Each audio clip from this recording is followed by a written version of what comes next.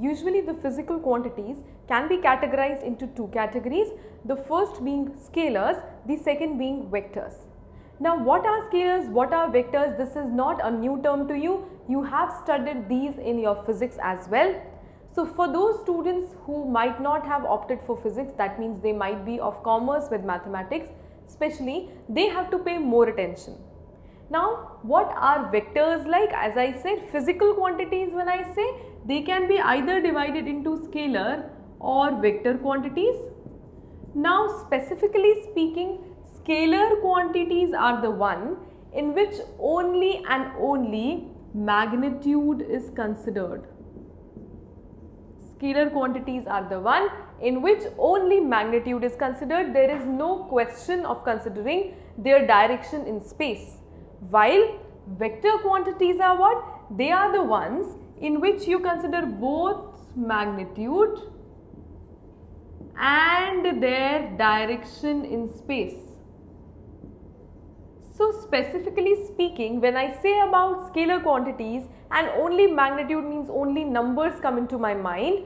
So they might be of the examples like volume, like area. If I say I have a cube of side 5 centimeter, what is its vol volume? 125 centimeter cube.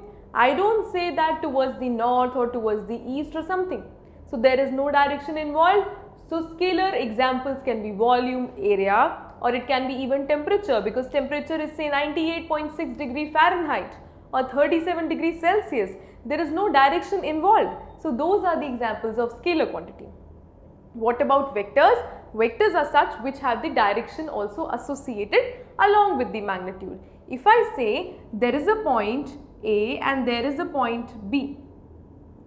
Now from point A to B I have to either go like this way that means towards the right hand side or I can choose this path. These are the two paths. So definitely direction is being involved right because I am going towards the right hand side or I am going towards a zigzag path and the magnitude is also there say 2 kilometers or 3 kilometers.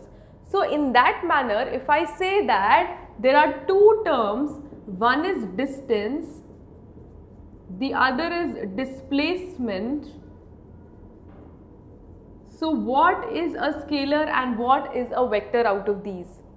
Distance my dear friends is your scalar quantity because there is no question of direction involved. So if I say 2 kilometers from A to B, it does not mean from A to B that you have to follow this way, this way, this way. So it is not like that. So it is only distance and it is a scalar. But for displacement which says the shortest distance, I tell you one example. Suppose I have these points A, B, C. Now from A to B I say it is 3 kilometer. From A to C it is 4 kilometer. Now by Pythagoras theorem this should be 5 kilometer right.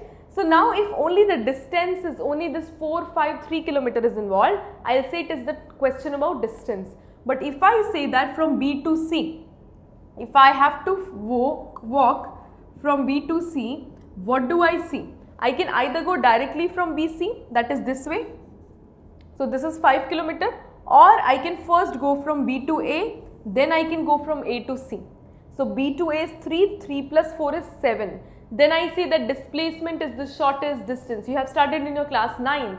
So now you come to know direction matters in case of displacement. Hence displacement is a vector quantity. More vectors are like velocity, acceleration and so on.